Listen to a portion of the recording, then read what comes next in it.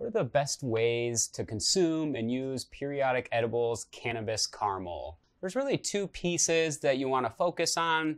The first one is cutting the caramel into the right THC dose that is ideal for you. And then the second one is storing the caramel for a later use if you don't consume it all in one sitting. So let's start with the first one, dosing.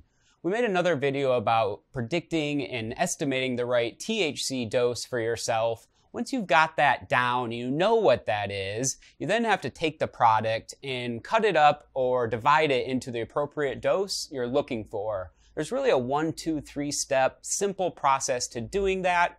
As you see on the back of our caramel, we have a measuring device that breaks the caramel size down into THC by five milligrams at a time the really the first step to dosing the right dose for yourself is just take out a little knife with the full label on the caramel and just put some pressure on wherever that dose line is that you're looking for 10 milligrams 15 milligrams or 25 milligrams whatever is ideal for you. That'll make a nice pre-scored line on the caramel. After that, you can put the caramel in the fridge for five minutes. Sometimes you can skip the fridge. If it's cool out and it's not too hot, um, you really don't need to put it in the fridge unless it's a hot summer day. That might be important as the caramel could be extra soft, uh, making it a little more difficult to cut. But once you have your pre-dose line, you either put it in the fridge or you don't. Then you unwrap the caramel. You'll see the little line that you made. Just take the knife you used, finish that cut all the way through. You can even do that with a plastic knife if you're out and about and don't have hard silverware with you.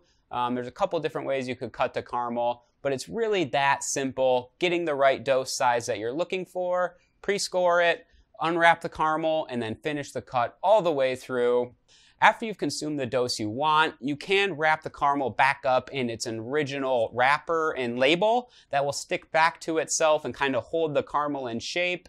You can then put the caramel back into the container, close it, and just put it in a cool, dry place until you're ready to use it again. Uh, really cool thing about the containers are they are child-proof or child-resistant certified, but on top of that, they also float on the water. So if you take our caramels out on an adventure, maybe floating down the river, um, and drop them in the water by accident, the caramel will be fine inside of that container.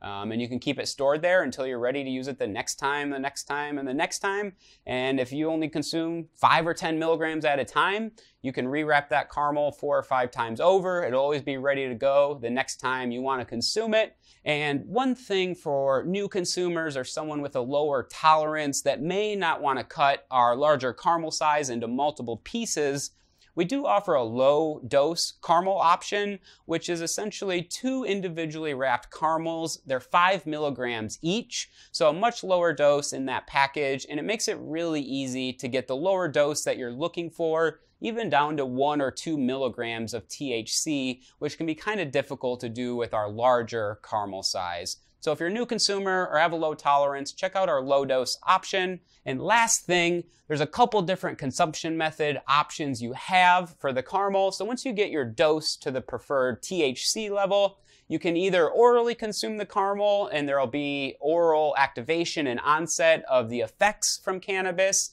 The other option is sublingually putting the caramel under your tongue and letting it dissolve that way. It actually will absorb through your mucus glands. We have another video on how those consumption methods work exactly, and we have an infographic right below this video that kind of breaks down the different effects that you can expect to experience depending on which consumption method you decide to use.